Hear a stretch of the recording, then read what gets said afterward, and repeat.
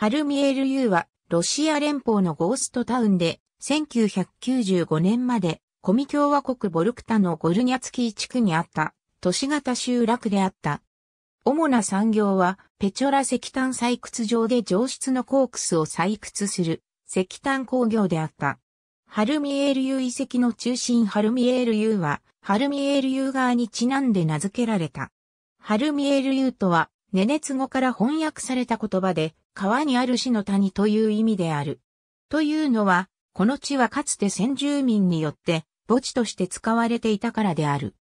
1940年代初期に石炭がこの地で発見され、1957年に主産業として発達していった。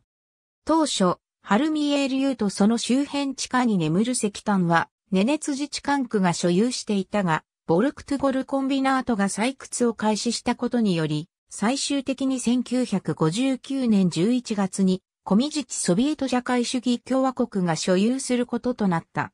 1993年に廃校が決まり、1995年までに移住者を解散した。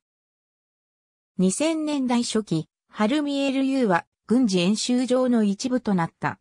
結果、それは1960年代以前にハルミエル U、北東 15-20km に存在していた航空演習場が復活することとなった。ありがとうございます。